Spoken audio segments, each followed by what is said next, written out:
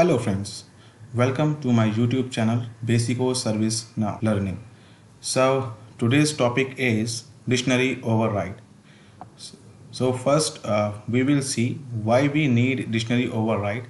Then we will move forward to understand what is dictionary override and how we can use it in ServiceNow. So let's navigate to tables first just for a basic understanding.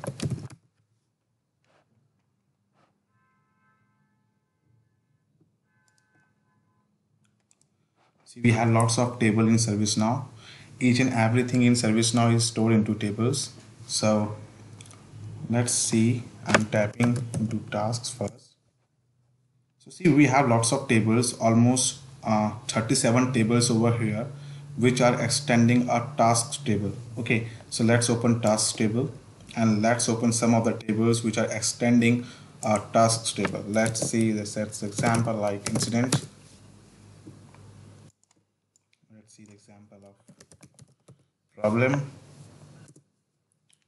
So I opened task table I opened incident table and I opened the problem table.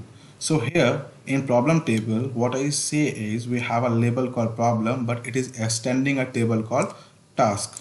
Okay same as in incident it is extending the table task. And the task table is not extending any table. It means that task table is a base table. Means it it is not extending any table so it doesn't so the task table does not have a parent table. But incident table and problem table and any other table which is extending the task table having a parent table. Parent table as a task table. And incident problem and other tables are a child table of a task table. So here is a relationship between the tables are we have a parent table and we have a child table. Okay, so let's see what happened when we do some changes on a child table then what happens. So let's open the incident form and let's open the problem form. See in incident form we have a field called assignment group and in problem form we have a field called assignment group. So it means this assignment group field is extended from task table in both the tables in incident table as well as in problem table. So let's uh, click on assignment group and click on configure dictionary.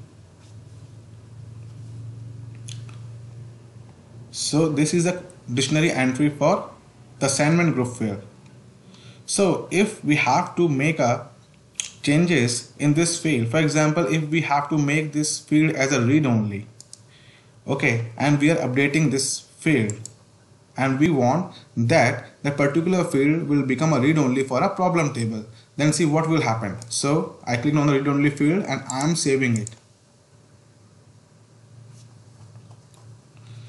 Now the changes which we have done in problem table for the assignment group let's see what happened to that this is okay let's navigate to problem. Click uh, on create new. See assignment group field become read only. But in incident table if we refresh the field currently this is not read, read only because we have not refreshed this page. If we refresh this page then what happens this field also become a read only. But we have made the changes when we navigated to a dictionary entry through the problem.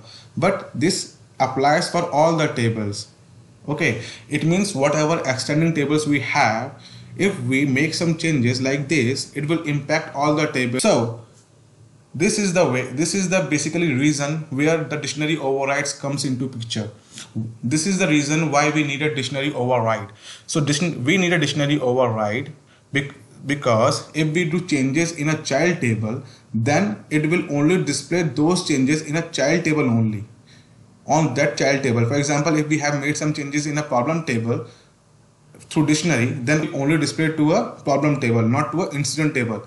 But currently it is displaying to an incident table as well as a problem table and other tables as well, which are which are extending the task table. Okay, so let's see how we can do a dictionary override. So currently what I am going to do is I am roll backing the changes, clicking on the configure, configure dictionary removing it to make the system earlier it was. Okay.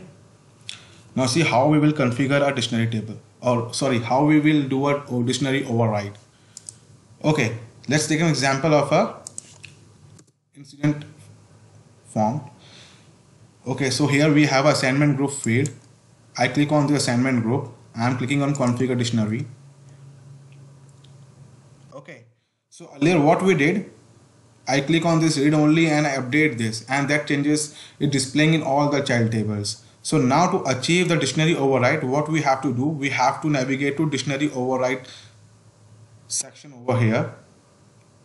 Okay? And then we have a call option new or we can also modify the existing dictionary override section. So we have currently we have to work on an incident table. So i am clicking on an incident field over here because i i have navigated to a assignment group. It means we already have some entry for assignment group in dictionary entry override. So these are the basic things which we can override through dictionary override. Okay. So here we have a base table. It means task table is a base table and incident is a table which got extended from a task table. Okay so the changes which we have to make we have to make a changes in the assignment group. So what all changes we can do here? We can also override a reference qualifier. Okay clicking on this we can mention a reference qualifier name over here and we can override it. We can also override the dependent fields. For example in case if we are applying a dictionary override some to a field which is depending on another field uh, so we can override from here as well. We can also override the dictionary attributes. For example we have we are overriding here as a tree picker uh, false. We can also like there are lots of attributes which can which we can override by making it true or false. Okay. We can override a default value. For example in task table if short description field in short description field if uh, value is displaying like uh, override or some any, any text will be getting displayed over here and if we want to override it we can also override default value from here. We can also override default over uh, we can also override a calculation. We can make a field mandatory or non-mandatory from here. We can make a field read only okay from here. We can also override the display values from here. So for example if i am making this assignment group read only for for only a incident table then i click on this i'll update and click on update let's see whether the problem table or problem form form get impacted from this or not. Okay so here i am opening a problem form. See this field is not read only. We can write anything in it.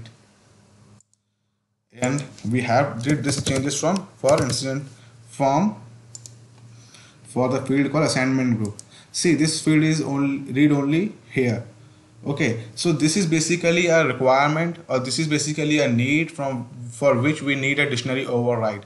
So dictionary override is a concept through which we can make changes in a child table which will not impact the parent table even though the table other tables which are which are extending the same parentically for this. So friend this is all for this video. I, I believe you all like this video. Please do like and subscribe and share my video. Thank you very much. Have a nice day. Bye bye